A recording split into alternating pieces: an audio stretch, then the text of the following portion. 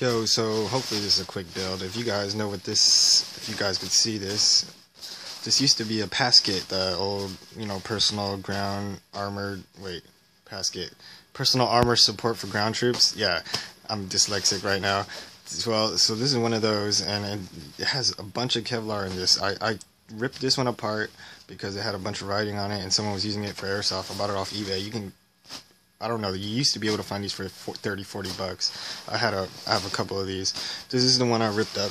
There's about 12 layers of Kevlar in there. Um, they're sewn in panels of like, I forgot. I think it's layers of three, three sheets of Kevlar for one panel, and there's four of those panels, or either something like that. But there's 12 layers of Kevlar, and uh, and you can hear me ripping open this. This is a plate carrier, standard, you know, little thing. Uh, I'm trying to rip it open, the Velcro. Rip open the Velcro here. You can see one of these. I have a AR either 500 or 550 steel plate in here. It was wrapped in one of the sheets from the PASGT vest. So this is one of the, the panels from the PASGT vest. And this is just one side. This is this was a medium vest. This is probably like the left or right side that because the it, it's like a it's more of a jacket than a vest. And uh you could just fold them up. I fold up this over this duct tape sheet of a AR 500 plate.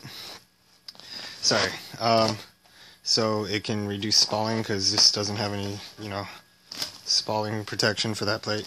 But there's uh, lots of uh, Kevlar. You can just buy a normal carrier. I got this off eBay.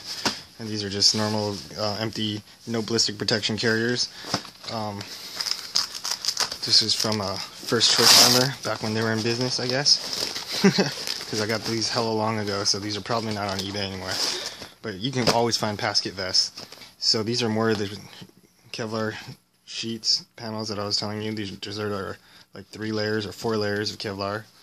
Um, and you can just fold them up, stick them in a carrier, and you can triple these up. Like I have this one super up. super layered. It gives you minimum less coverage, but they'll still protect your vital organs and stuff.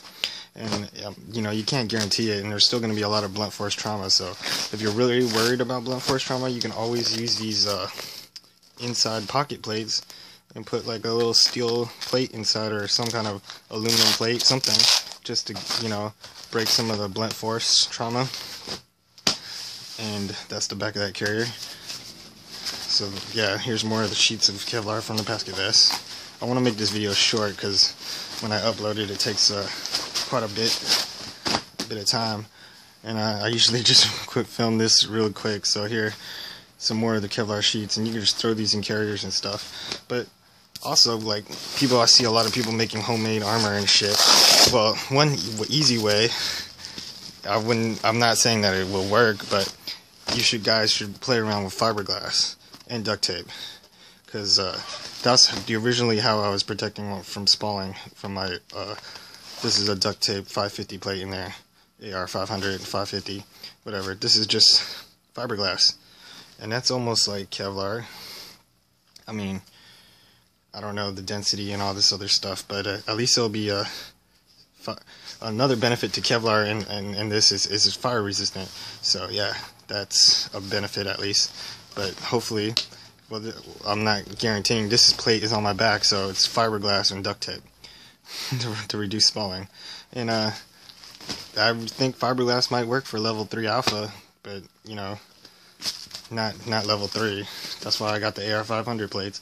But yeah, you can just there's lots of Kevlar in the uh, PASGT vest. You can use a shoulder pad like in this MOLLE vest.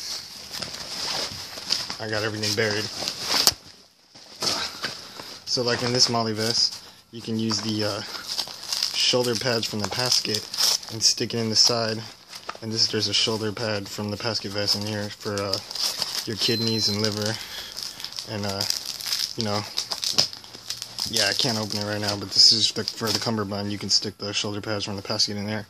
And uh, yeah, it's pretty cool. Yeah, so peace.